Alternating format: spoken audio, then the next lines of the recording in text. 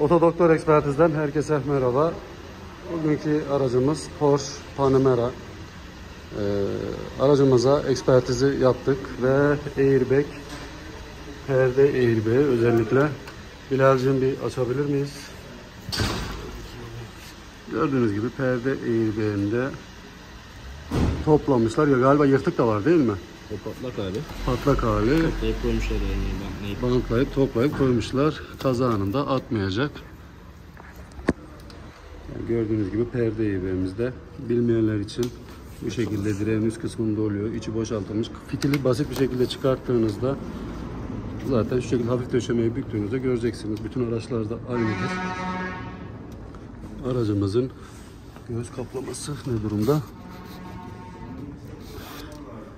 Göğüsle alakalı kaplama yok. Tabii göğüs airbagleri ve torpid airbag ile direksiyon simidi kontrol edilmesi gerekiyor şu anda. Bu aracımız airbag kontrolüne gelmedi. Sadece kaporta kontrolü yaparken fitilleri çıkarttığımızda fark ettik. O yüzden direnç kontrolü falan şu anda yapamıyoruz. Lakin zaten dirençlidir. Airbagler de patlak. Ee, muhtemelen zaten şeyle alakalı. Şimdi Aracımızın direksiyonu da muhtemelen işlemlidir.